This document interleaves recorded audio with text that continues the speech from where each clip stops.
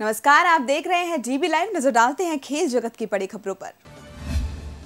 Olympic के लिए qualify करने के बाद रियो में ओलंपिक के लिए क्वालिफाई करने के बाद रियो में दीपा कर्माकर ने जीता गोल्ड ओलंपिक खेलों की परीक्षण प्रतियोगिता के वॉल्टर्स फाइनल में हासिल किया मुकाम। पहली बार किसी भारतीय महिला ने वैश्विक जिम्नास्टिक प्रतियोगिता में गोल्ड मेडल जीता। इंग्लैंड के पूर्व कप्तान इयान बाथम ने भारतीय क्रिकेट पर जताई निराशा, कहा, भारत को टी क्रिकेट से आगे के क्रिकेट को समझना होगा। भारत टेस्ट क्रिकेट में कहा जा रहा है? सनराइजर्स ने मुंबई को सात विकेट से हराकर खोला खाता। कप्तान डेविड वार्नर ने जड़े उनसठ गेंदों पर नब्बे रन। सनराइजर्स ने तीन ओवर पहले ही हासिल किया लक्ष्य। जीत के लिए बरकरार रखने उतरेंगे Kings Eleven Punjab. Kolkata Knight Riders से मुकाबला आज। तीन में से दो मैच जीत चुकी है केकेआर।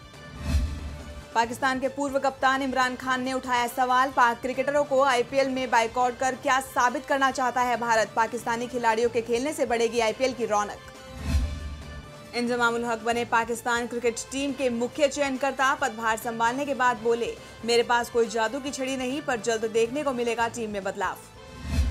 तो ये थी खेल जगत की बड़ी खबरें। देखते रहिए टीवी लाइव, क्योंकि यहाँ है खबरें लगातार।